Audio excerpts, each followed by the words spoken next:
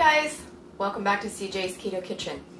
This is our fourth recipe in our four week holiday series. And tonight we are going to be making candy, but it's going to be very simple. You don't even need a candy thermometer. So tonight we're going to be making sugar-free English toffee. So come along let's get started. So English toffee is kind of a misnomer because it's not really English. In fact, if you ask for English toffee in the UK, you will not find it. In Great Britain, it is called butter crunch. But this particular type of confection has been around since about 1825, and food historians generally think that it might be stemming from a Creole word toffee, meaning molasses and sugar. So it has been around for a long time, but it's been known by different names. Regardless, it is a very yummy, buttery, crunchy type of candy, and it's generally coated with chocolate and has some kind of nut in it. Sometimes it's pecans, sometimes it's almonds, but tonight we're going to be making a sugar-free version. So let's go ahead and get started. So to begin our candy, we are going to start with a medium-sized saucepan, and mine is three quarts. And to that, we are going to add a half a cup of butter, which is one stick. And we need to let this butter melt. So you want your temperature probably medium. And as soon as this butter has melted, we are going to add our sweetener and let our sweetener get well combined and dissolved in there, and then we'll bring it up to a low boil in order to bring our candy to that hard crack stage. You do not need a candy thermometer with this, you just need to watch it. And once our, our sweetener is dissolved, we're not going to stir it, and that is going to give us that hard crack toffee that we're looking for. So it's more about watching. So our butter is melting. So we are going to go ahead and add our sweetener. Now this recipe, it calls for using erythritol. Swerve is generally the brand name. Um, sometimes you can even find Swerve locally nowadays. But I'm just using the So Nourished erythritol because it's the exact same thing. It's just the generic brand and you want the granular. And we're going to be using about three quarters of a cup of that. So we need to go ahead and pour that in and stir while the butter is melting so that we can get our sweetener dissolving into the butter because we really want it dissolved really well because it is granular. So let our butter get melty in here.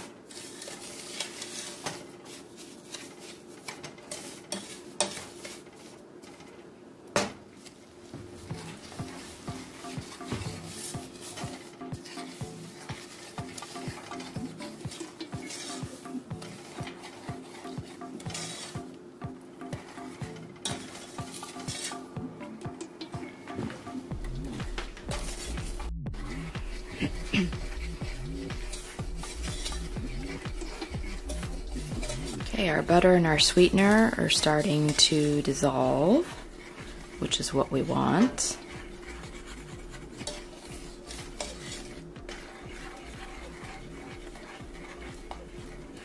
I'm just stirring at this point to make sure that our sweetener and our butter are well combined into each other before we start letting it come to the low boil to form candy. Okay, everything is dissolved. Now we're going to bring this to a low boil. And this is going to be the part where it turns into toffee.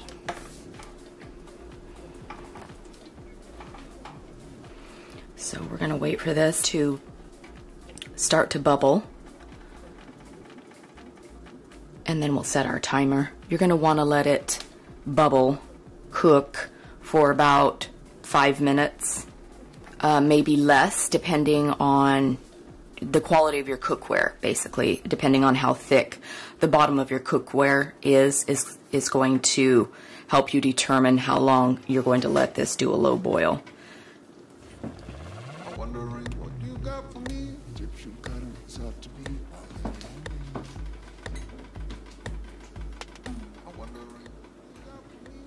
This recipe does not take a long time, but you do have to be patient with this process because you don't want your candy to scorch.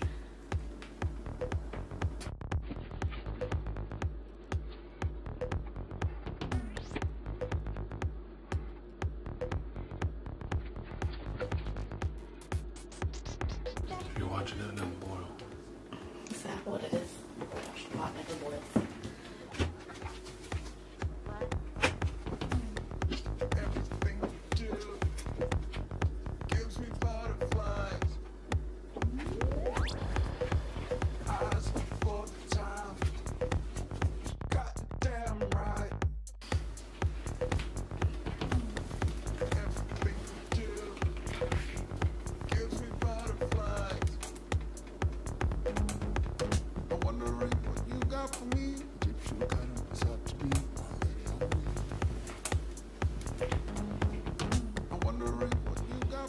Okay, it's starting to boil now, which is what we want. I'm gonna set my timer.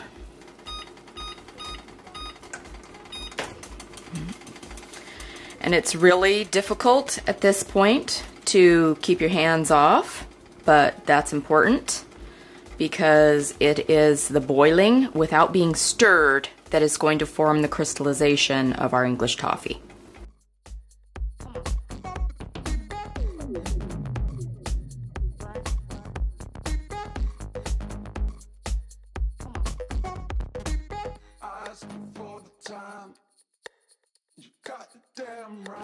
As it low boils, the butter is going to change from that light yellow color that butter usually is, and it's going to take on that amber, that deep amber color of toffee.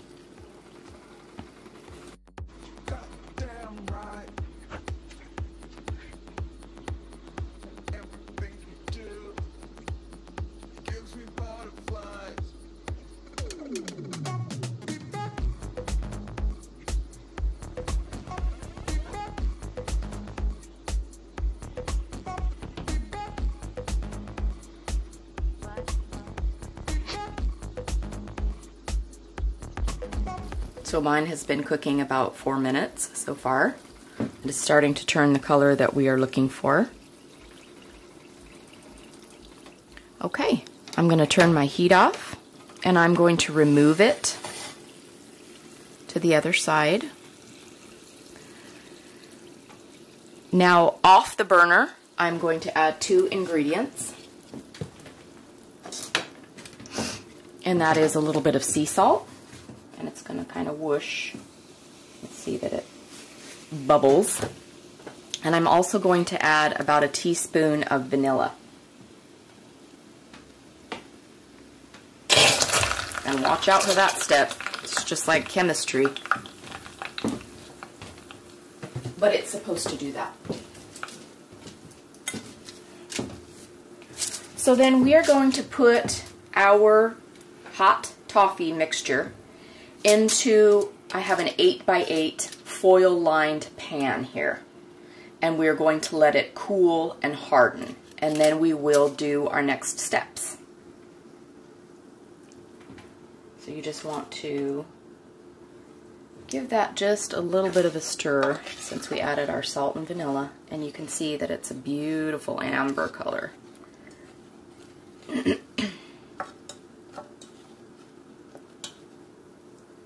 And we're just going to pour that into our pan.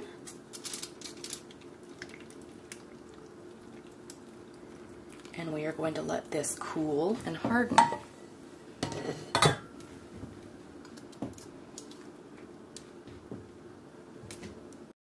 Okay, so our toffee has cooled and hardened. And now we're going to do one additional step. We are going to take chocolate chips, and we need about a half a cup. And I am going to be using the Lily's brand chocolate chips, and these are dark. They only come in dark.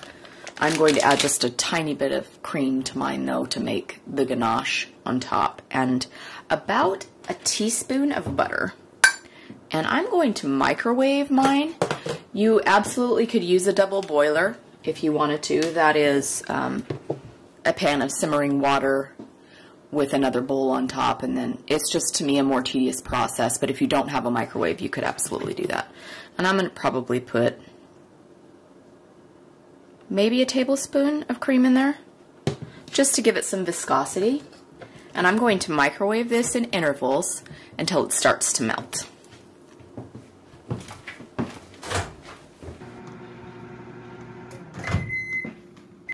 Now, if you cannot find Lily's chips, you could use a um, cut up sugar-free candy bar. You could, um, Hershey's makes sugar-free chips. They do have maltitol in them, but if you cannot find anything else, you know, this time of year, it's about some slight indulgences versus eating actual sugar. So I heated mine for about 40 seconds and you can see that it's not quite melted yet. There's still a little bit of actual chip looking chunks in there. So I'm going to take it for another 30 seconds.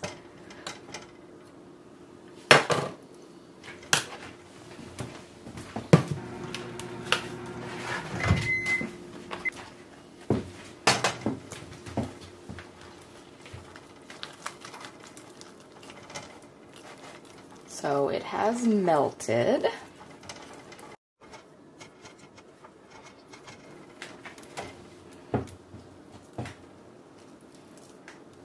I'm just going to carefully spread that across my cooling toffee. Trying to get as thin a layer as I can.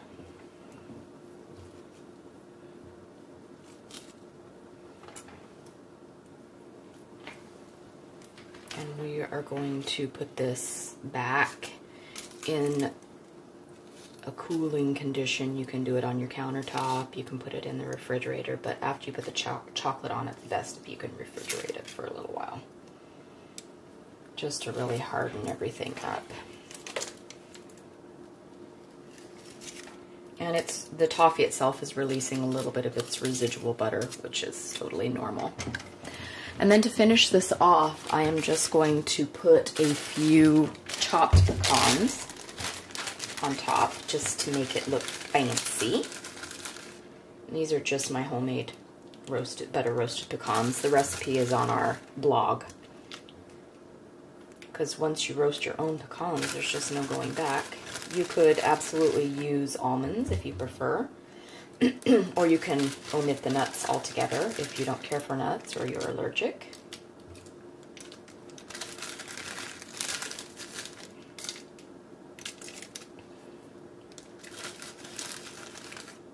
Okay, so there we go. And we're going to pop that into the refrigerator and let it fully harden. And then we will cut it up and let CJ have a taste.